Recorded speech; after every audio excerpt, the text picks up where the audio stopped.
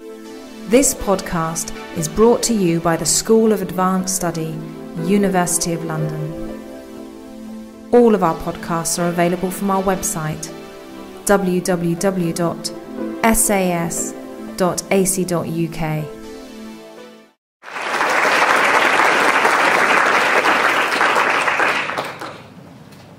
Chairman, thank you for that very kind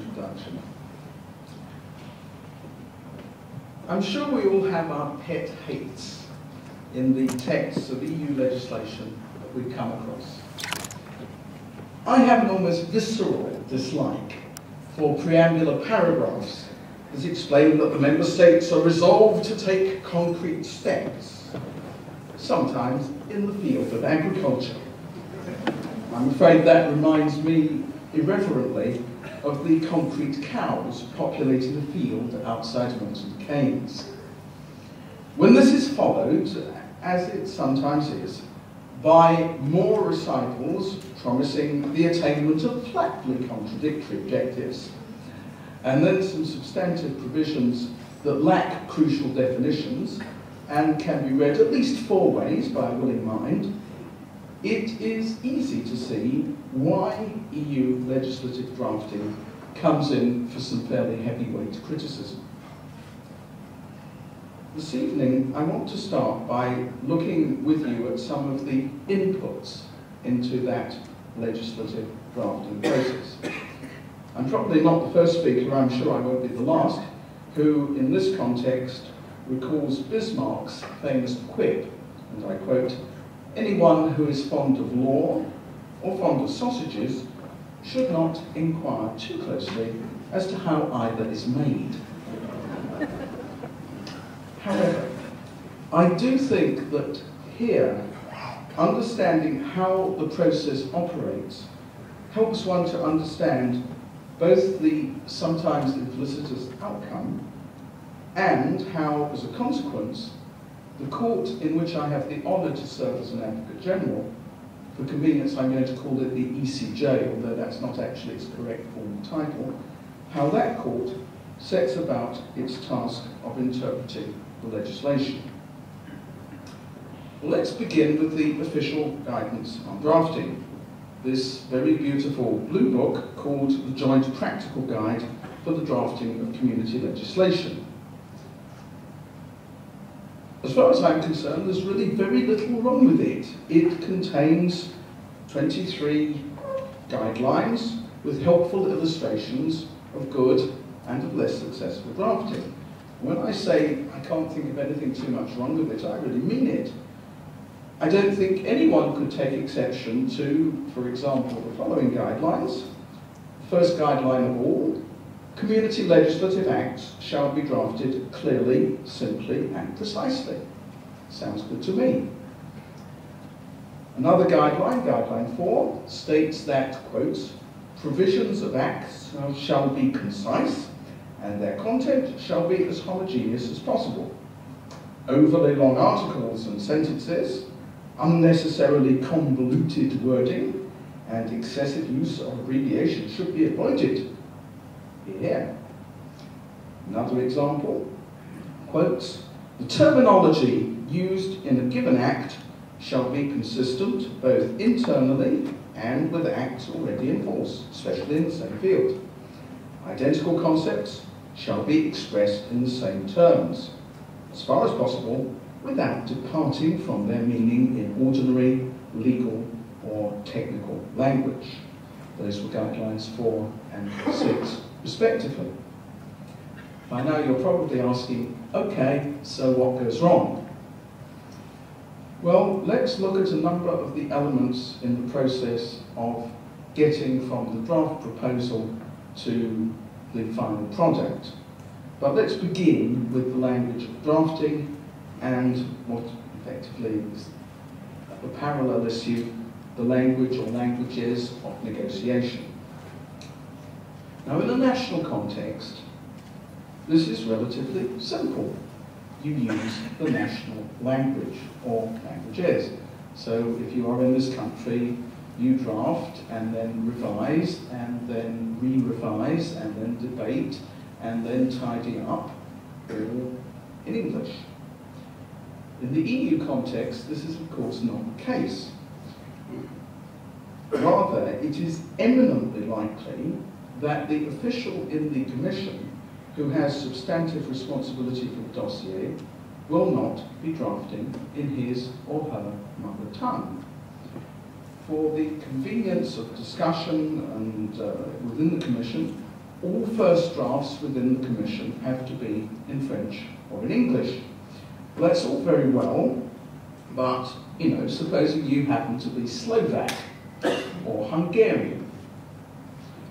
Now, may I say, it's very difficult to draft anyway, but it's even more difficult to draft in the language that is not your mother tongue, that may not indeed be your second language or even your third language, perhaps it's your fourth language.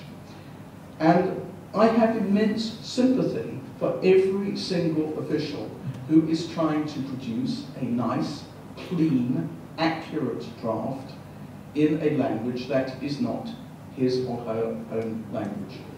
And I say that absolutely from personal experience. Normally, at the court, I write my opinions in my mother tongue in English. But for the urgent procedure, the PPU as it's called in the jargon, I write in French because there is no time for the opinion to be translated. And for special historical reasons, I happen to have taken over cases from the former Spanish Advocate General, Damaso Ruiz-Jarabo Colomer, and I therefore wrote three opinions in Spanish. And may I say to you, in all honesty, it is much more difficult outside your mother tongue. It's difficult enough in your mother tongue, once you move outside your mother tongue and you try to be as precise as you need to be in the legal text, it does become very difficult indeed.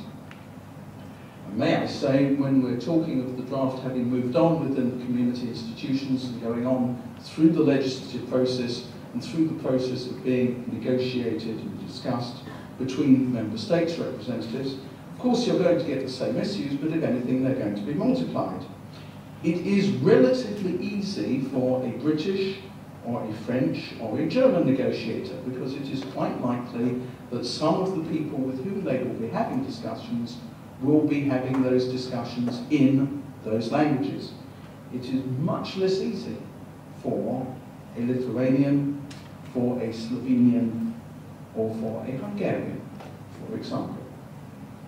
So that's the language element, and I make no apology for stressing the point right at the start because the linguistic side of the European Union is a fact of life, of existence, but it does render the workings of the Union, be they legislative, be they judicial, be they political discussion, enormously difficult. The second element I want to look at, I've put down the heading rather boldly, different starting points for the negotiations. Now, what do I mean? Well, maybe we should ask the question, do all the member states really want this legislative measure that they are now looking at? Perhaps some are more keen on it than others. Is it actively desired or is it seen as a necessary evil? Depending on that, the approach may be different.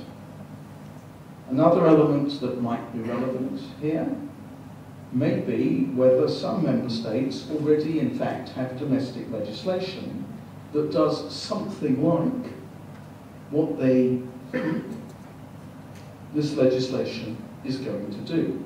Now, I emphasize the words something like and they think because the legislation, when it is put into force, is going to be EU legislation and it will have an more autonomous meaning. Nevertheless, if you already have national legislation in a particular area, which is rather like the legislation you're trying to negotiate, and that may very well be the case, and you may very well want the EU legislation to look rather like what you have already, because if so, there will be relatively little need to make changes in order to implement it, then those facts are probably going to colour your perception right throughout the process as to what the draft EU legislation means. Now, it may not look quite that way to other people around the negotiating table. That would lead me on, therefore, to the next point. How are the various people involved in the negotiating process, that is, the representatives of the other member states, and due course also as the Parliament, how are they all going to look at and how are they going to perceive the meaning of the text? I might also, if I were splitting hairs, ask the question, is what is perceived the same as what is written down or what is meant? I mean, you know, I don't want to get existential here, but there is sometimes a significant difference between perception, text, and actual reality. Now, here I would suggest to you that the different national legal traditions are going to be relevant. And along with that, something else which again is something which is very relevant to my work and the other stage of the process, the, the judicial stage, very relevant to my work at the court. We all make assumptions. Law consists, as we all know, of a nice chain of reasoning, but actually, if we are discussing with each other as lawyers, we do not spell out every step in the chain. If you are talking to somebody from your own legal tradition, in fact, you take shortcuts because there are certain built-in assumptions about how one thinks and what one needs to state and and also what one doesn't need to state. And you, you don't waste time by stating the obvious. Now, I have certainly discovered, working at the court, that there's an elephant trap here. The elephant trap is that what is obvious to me may or may not be obvious to you, but even better, even if it's obvious to both of us, it may be obvious to me that it is black and it may be equally obvious to you that it is white. And if we are starting from there, and if we do not make our assumptions clear and express, and explicit rather than implicit, it is only some considerable way down the line that we will find out that in fact we have contradictory starting points. My final item in this particular section would be to ask the question to what extent, and also where in the process, are the administrative and or political negotiators going to refer to their legal teams for assistance in proposing drafting amendments and or in understanding the likely EU interpretation of the texts that they are negotiating.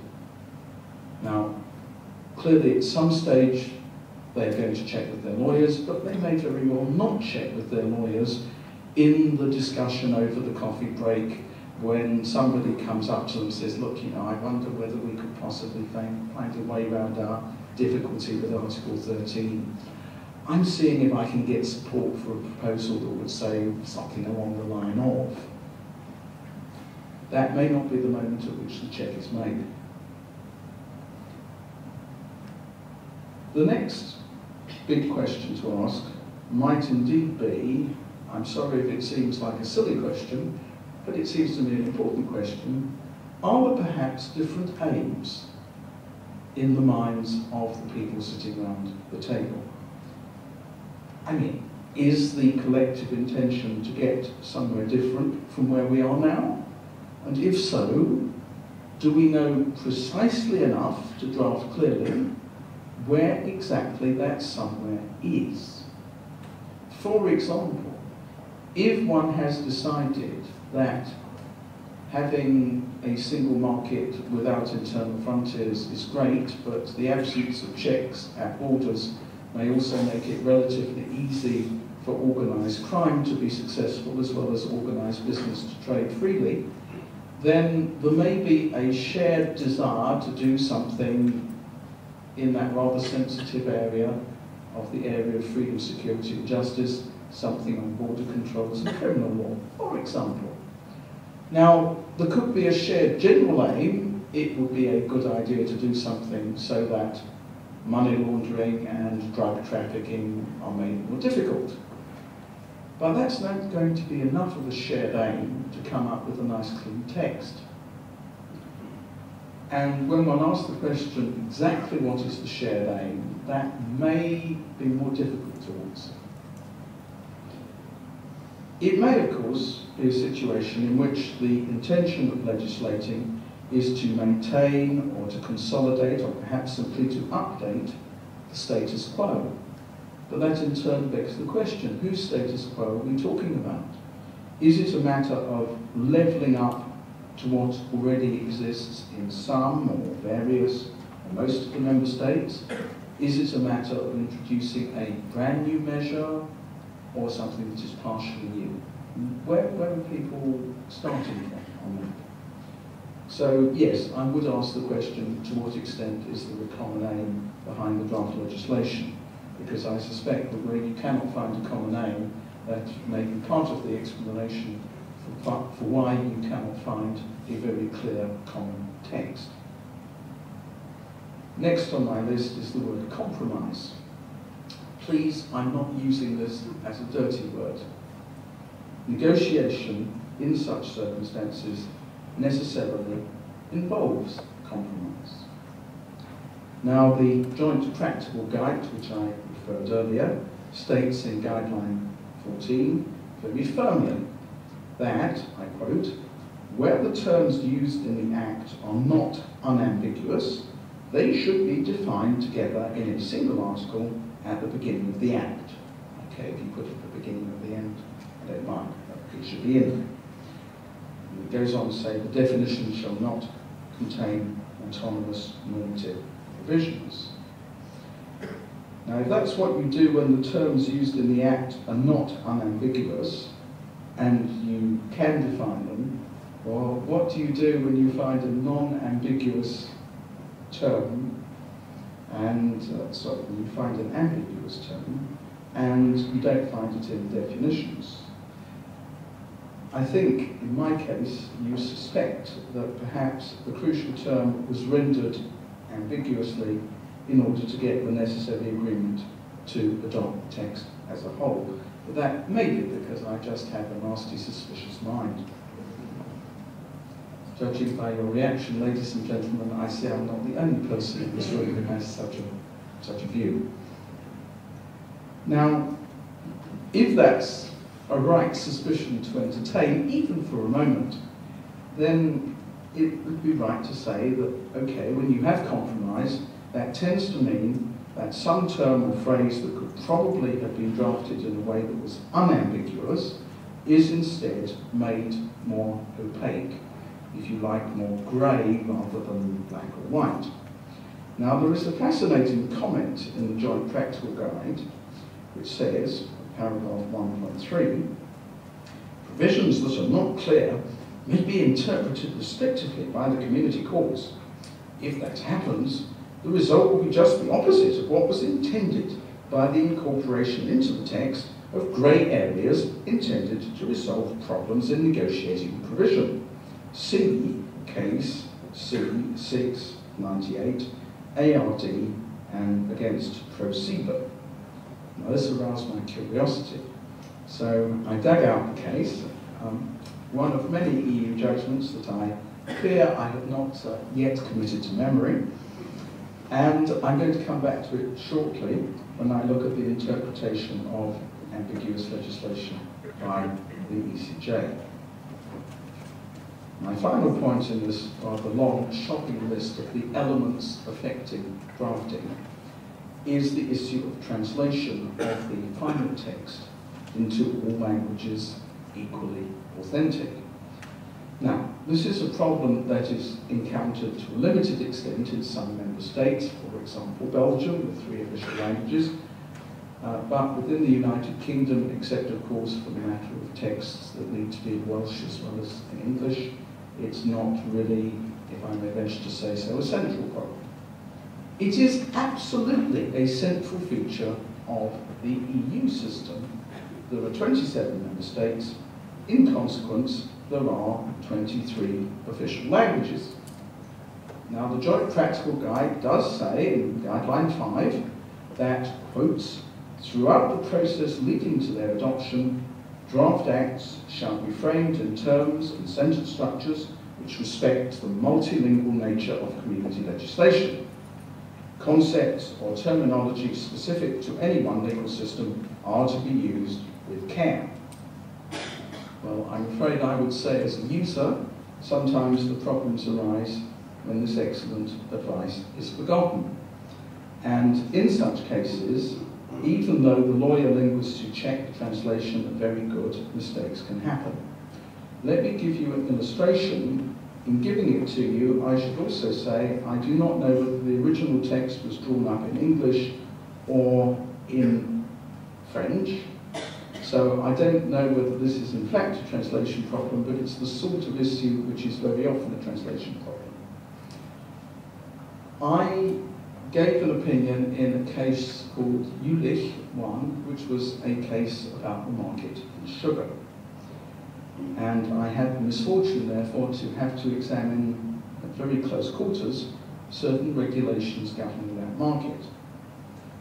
The texts that I was looking at were complex, jargon-ridden, convoluted, and virtually impenetrable, at least to my small mind. I tried looking at the English and at the French, and also German being the language of procedure, German of the legislation, and in all three languages, it was a case of wrapping a cold towel around your head and then putting the ice cubes on the top and just trying to work out what on earth this could possibly mean. I ended up sketching out the main provisions in the legislative section rather than reproducing them verbatim. I sketched them out because if I had followed my usual practice and put the verbatim text into the start of the opinion, the opinion would have become totally unreadable and everyone would have lost the will to live, including the author. So I put the actual text into an annex to the opinion. Even so, in that annex, I was driven to inserting words in square brackets into the English text of Article 6.4 of the implementing regulation, Commission Regulation 314 of 2002 as amended, and putting in as a footnote, quote, it is clear from other language versions, and indeed common sense, that the English text is wrong. The correct meaning is right at by including the words in square brackets. Now, I didn't do that lightly. I did that having had a look at the versions that I could see read in other languages, not doing a little bit beyond the English, French and German, it was evident that the regulation simply could not make any sense with the English text in its original form. I have to say, I cannot really find it in my heart to blame either the original draftsman or the translator losing their way in that horrible mess because it was a very, very horrible mess by the time the details of the technical regulation have been worked out to the utter end of recorded time. So much for the drafting process. Now let's look at the consequences. Well, the immediate and short-term consequences of the process are, I would suggest, fairly positive. Legislation is agreed and is promulgated. Much of what is put through is actually perfectly workable. Where the topics covered are sensitive, the watering down of the original text enables agreement to be reached. The negotiators are able to return home and reassure the minister that all is still well. In the medium term, if the text is ambiguous or unclear, well, sooner or later, some bright lawyer is going to get their hands on it when advising a client, and that means that sooner or later in the ensuing litigation, a national court is going to make a reference to the ECJ under what has now become Article 267 TFEU and ask what on earth the text means. Let me give you two illustrations to show how, faced with a problematic text, the ECJ sets about the task of interpretation. My first illustration is indeed the case that is referred to in the Joint Practical Guide, case C6 of 98. That was a case about the interpretation of Directive 89552 and the provisions concerning the pursuit of television broadcasting activities. It was a case in which Advocate General Jacobs gave his usual magisterial opinion. He set the problem out very clearly.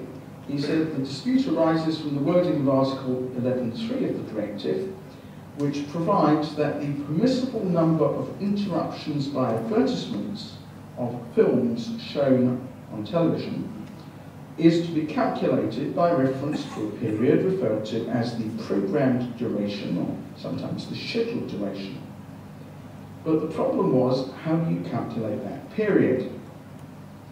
Under what is called the gross principle, which was supported by ProSieben, and I add by SAT1, Kabel 1, by the Italian, Luxembourg and UK governments and by the Commission, the duration of the advertisements should be included in the duration of time according to which the permissible number of interruptions was calculated. That would be the gross principle. However, you can also do it the other way, under the net principle, that had ARD, the other side of the proceedings in the National Court, plus the French, Netherlands and Portuguese governments supporting it, under the net principle, the advertisements are not to be included in such time. That is, the relevant duration is only the length of the film. Well, the difference is that in certain circumstances, if you apply the gross principle, you can have more interruptions than you can have under the net principle. And more interruptions equals more advertising revenue. So there is a bottom line to this which is quite important. Well, Advocate General Jacobs then set about analysing this misbegotten text. And he said, I'm going to paraphrase a lot of what's in the, opinion and then the judgment. He said, well, both the proponents of the gross principle and the proponents of the net principle rely heavily on the text. There was a discussion of the German, English and French versions of the directive.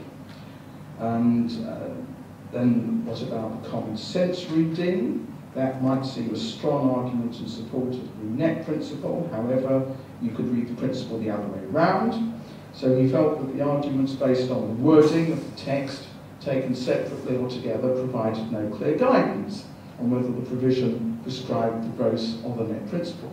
So then he went to the legislative history, which is not very often used by the court as a means to interpretation. Normally it's just regarded as a supplementary, it can be relied on if necessary. So he crawled through the minutes of the, council, of the council where there was a declaration by the council and the commission, they hoped they were putting the matter beyond doubt, that the duration provided for by the relevant paragraphs had to be calculated on the basis of the scheduled duration of the broadcast. Advocate General Jacobs pointed out a little stringently that, do I mean acerbically, that the declaration closely reflected the text Indeed, it might be said that the declaration begged the question of what scheduled duration meant. This was precisely the issue at stake. Then he had a look at a legislative amendment by the Parliament, which hadn't been accepted. Then he went on to doing a systematic interpretation, the teleology, no clear guidance emerges. And eventually he said, well, look, you know, if, this is open to two interpretations, it would be wrong to think that the interpretation of the directive, which was all about freedom to provide services, should be limited, should be restricted. Therefore, he thought if there was going to be a restriction on an activity, the restriction should be clearly expressed. This seemed an appropriate way around to do things, so actually we should have the gross principle. Then the court had a go. And the court was shorter and perhaps less easy to understand than that Advocate General Jacobs, who was his usual very clear self. But the court followed the AG. The court said, well, the arguments based on the wording do not provide any clear indication as to whether the provision prescribes the gross principle or the net principle. Neither the declaration nor the proposal by the Parliament allow any conclusive arguments to be drawn. The conclusion must therefore be that the wording of Article 10.3 of the Directive as amended is ambiguous. And so then, like Advocate General Jacobs, the court went on to look at the context, the objective of the directive, and decided that if this was going to be a restriction on provision of services, provision of services is the exercise of fundamental freedom, then the restriction had to be expressed in clear terms, if in doubt, read it restrictively. For the avoidance of doubt, although I have agreed to take questions at the end of this lecture, I am not going to be taking questions as to where precisely that left matters. it wasn't my case. My second illustration, however, is a case of my own, as Advocate General. It was a reference from the National Court, which, as far as I can tell, was in all likelihood prompted by an idiosyncrasy in one language version the case is a case called Emirates Airlines, case C17307, and it was about the air passenger regulation, regulation 261 2004. And that regulation, inter alia, provides compensation to be paid to air passengers in the event of a flight cancellation. Article 3 of the regulation, entitled Scope, provides that the regulation applies, A, to passengers departing from an airport located in the territory of a member state to which the treaty applies, so that is irrespective of the air carrier, which airline you're with, if you're departing from an airport located in the territory of a member state to which the treaty applies, you are covered by the regulation. And B, to passengers departing from an airport located in the third country to an airport situated in the territory of a member state to which the treaty applies, dot, dot, dot, dot, dot, if the operating air carrier of the flight concerned is a community carrier. So the people who are not covered, therefore, are passengers who are leaving a third country, coming into a member state on a non-community air carrier. Nevertheless, the Oberlandesgericht, the uh, higher regional court in Frankfurt, made a reference in which essentially it asked the court whether a return flight from a third country to a member state should be regarded as part of a flight departing from that member state, at least when the outward and return flights were booked at the same time. Now, before you think that the Oberlandesgericht had taken leave of its senses, let me say, because it did seem a very strange reference, let me say that there is a difference between the wording of Article 3.1 in most language versions of the regulation and the wording of that provision in the German version. Many, I think most, of the language versions use a construction similar to the phrase, quotes, passengers departing from an airport, close quotes, which is in the English version of Article 31A and Article 31B. Passengers departing from an airport. So, for example, the French wording is passager au départ d'un aéroport, and the Spanish is pasajeros que partan de un aeropuerto. And there are equivalent formulations in, for example, Dutch and Italian and Portuguese. I'm not going to pretend that I can vouch for the Estonian. The German version uses the word flight. So it renders the phrase as passengers who embark on a flight at airports. Fluggäste, die auf Flughäfen einen Flug antreten. And indeed, similar wording is used in the German version of Recital 6, which sets out what the legislator's intention was. Now, Okay, you may say, what is this? This is not a big deal. The common sense approach seems to be to say the difference in wording between the German and other language versions does not alter the actual sense of the provision. Um, embarkation on a flight is the normal preliminary to departure. So, you know, when passengers depart from an airport, it is understood and obvious that they do so by embarking on a flight. So, what's the big deal? Well, nevertheless, because the German text used the word flight, it was possible for those representing the passenger, Dr. Schenkel, to mount a quite respectable argument that if you buy a return ticket within the EU and you duly board the first flight at an airport located in the territory of a member state to which the treaty applies, then this is all essentially one journey. You got on board your flight within the community to start the process of the round trip covered by your return ticket. And so you should be covered. And indeed, that argument was successful at first instance. And Emirates Airlines then appealed to the Oberlandesgericht, which made the reference. Now, interestingly, the court approached the case on the basis that, and I quote, the concept of flight is of decisive importance for answering the question put, despite the fact that, although it appears in the German version of Article 3.1a, a clear majority of the other language versions of that provision do not refer to it or use a term derived from the word flight. In other words, we see the German court has got a problem with the word flight, so we're going to start with the concept of flight, even though that concept is more or less only to be found in the German version. I'm happy to tell you they then agreed with the Advocate General that passengers departing from an airport located in the territory of a member state or in a non-member country are necessarily passengers embarking on a flight departing from such an airport. You do have to get on a flight to leave an airport, at least you usually do. And they also agreed that divergence between the various language versions therefore has no effect on the actual meaning to be given to the provisions concerned, which determine the scope of the regulation. However, the court decided it therefore had to begin by interpreting the term flight. The term flight was nowhere defined in the regulation. It wasn't to be found in the relevant provision except in the German version of. So the court held its head probably and deliberated. I'm not part of the deliberate, but I can imagine them nodding their heads and saying, okay, what do we do now?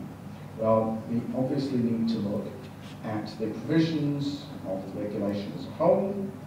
We need to look at the objectives of that regulation. It was rather lengthy exegesis, and the court concluded that, and I quote again, the concept of flight within the meaning of Regulation 261-2004 must be interpreted as consisting essentially in an air transport operation, being as it were a unit of such transport, performed by an air carrier which fixes its itinerary. And they added that, by contrast, the concept of journey attaches to the person the passenger, who chooses his destination and makes his way there by means of flights operated by air carriers. A journey, which normally comprises outward and return legs, is determined above all by the personal and individual purpose of travelling. Since the term journey does not appear in the wording of Article 3.1a of Regulation 261-2004, it has in principle no effect on the interpretation of that provision. Now, if you've been following me really closely, you will recall that Article 3.1a is worded in terms of passengers, not in terms of operations performed by air carriers, and not in terms of journeys. The, the court is doing the best it can to sew the situation together. And after further analysis of the Montreal Con Convention, which it decided wasn't decisive, and of the met method of reservation, buying the return ticket, which the court felt was not a relevant factor, the court came up with the following dispositif, the following ruling. Quote, in the light of the above considerations, the answer to the question must be that Article 31A of Regulation 261-2004 must be interpreted as not applying to the case of an outward and return journey in which passengers who have originally departed from an airport located in the territory of a member state to which the treaty applies travel back to that airport on a flight from an airport located in a non-member country. The fact that the outward and return flights are subject to a single booking has no effect on the interpretation of that provision. So ladies and gentlemen, what happens is that the court's answer takes the majority wording of Article 31A of Regulation 261-2004, quotes, passengers who have departed from an airport located in the territory of a member state to which the treaty applies, then combines that with a reference to a flight, as per the German text, and places both in the context of an outward and return journey. I venture to say if you were doing English statutory interpretation in an English court, you could not possibly end up in the place that I have just described. I'm sure Mr Justice Sales never does.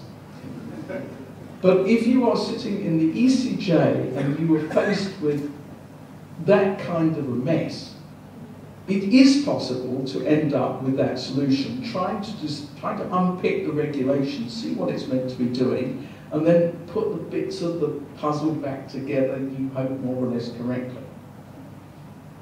But what does that mean for the longer term? Well, I'm sorry to say, that in the longer term, the infelicities in drafting fairly obviously create fertile ground for litigation, particularly where individual rights are or may be at issue. So if I go back to my illustration from Emirates Airlines, the question of what is a flight in the context of denied boarding, delay and cancellation has continued to haunt the ECJ as part of the wider problem of how Regulation 261-2004, which is not an example of utter clarity, it, it, what that is meant to cover. The references from the national courts continue to come in. For example, in a case called Sousa Rodriguez, the court has recently decided that if a plane takes off as scheduled, but after a few minutes turns round and lands back at the airport of departure, this counts as the cancellation of the passenger's original flight. There were references pending from the UK in a case called TUI Travel and others, and from Germany in a case called Volkert, asking for further clarification of the relationship between flights, delay and compensation following the court's judgment in, well initially Emirates Airlines, but then another case in which the court was reasonably creative, a case called Sturgeon. I think we're still quite a long way away from knowing what this particular regulation, which is after all a rather important one for the travelling public, and one which has potentially very significant financial consequences for the air carriers, actually means. The examples could be multiplied, but I did promise that I would leave space this evening for some questions. So let me conclude with the hope that the lecture has served to give you a slightly greater insight into the complexities and the challenges of the process of drafting EU legislation. Uh, I have said it for my part, uh, what is surprising is not that there are sometimes texts that are less than perfect, rather it is that quite a lot of the time the legislation that emerges is reasonably clear and is reasonably straightforward. But on the occasions when that is not the case, it falls to the ECJ, sooner or later, to decide which of the possible meanings is the law using the interpretative tools that I have sought to illustrate. And I would only add this. To the best of my knowledge, the majority of my colleagues at the ECJ do not relish being put in a situation where it is the court that says which of the possible meanings is the law. I know that I certainly do not. I would far rather that the legislator, who has, through the Council and the European Parliament, the political and democratic accountability, made the necessary choices. Thank you very much.